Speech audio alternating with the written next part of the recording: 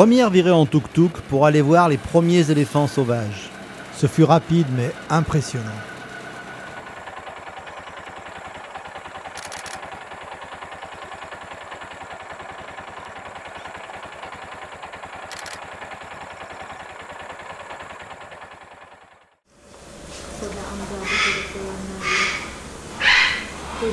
La technique du batik consiste à teindre le tissu après avoir enduit de cire les parties à réserver. Le tissu va ainsi subir plusieurs bains de teinture en fonction des motifs et du nombre de couleurs voulues. Selon la taille, le nombre de couleurs à appliquer et les motifs, la fabrication d'un batik peut prendre d'une semaine à plusieurs mois.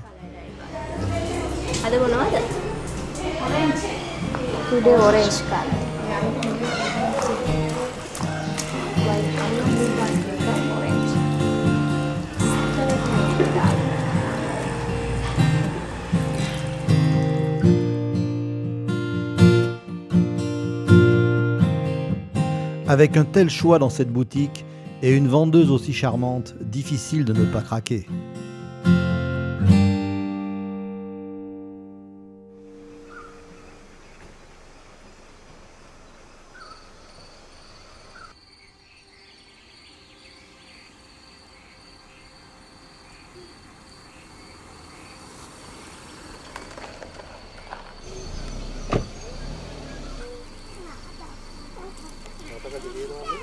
Ici, c'est beau.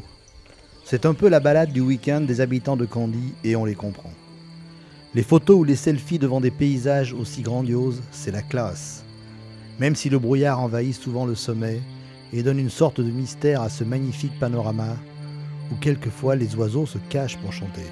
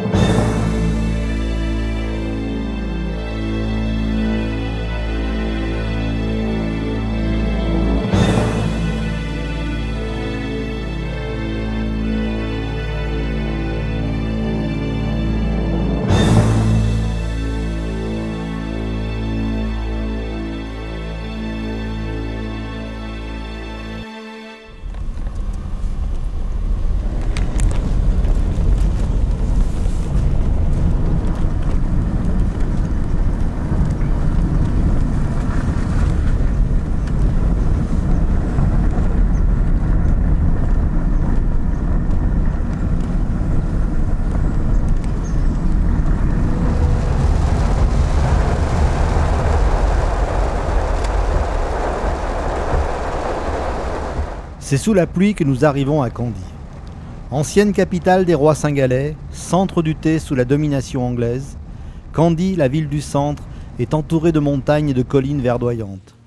Son caractère et son histoire en font la perle rare de l'île. C'est le plus grand centre religieux du Sri Lanka et la capitale du bouddhisme cingalais, car c'est la ville du temple de la danse sacrée, relique liée à l'histoire du pays. Il y a déjà beaucoup de monde, car la fête du Bouddha a commencé. Les fleurs de lotus et les lanternes en papier sont partout pour fêter le Vesak Poya.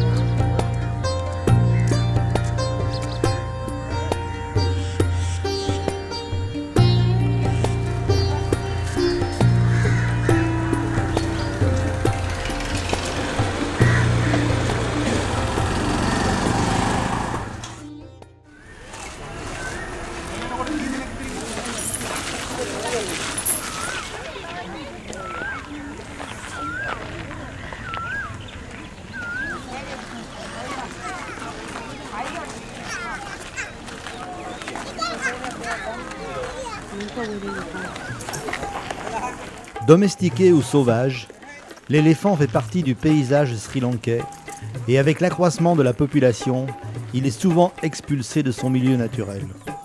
Cet espace, qui est maintenant devenu une attraction touristique, a été conçu pour protéger et nourrir les grands mammifères blessés ou orphelins. Il y a aujourd'hui une centaine d'éléphants qui vivent à Pinawela.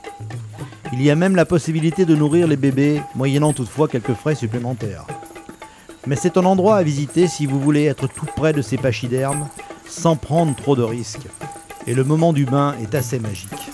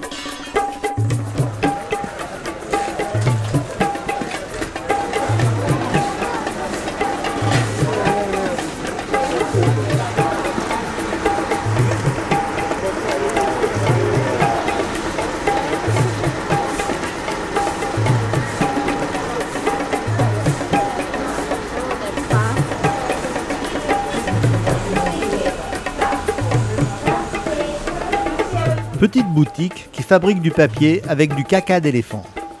Du 100% naturel.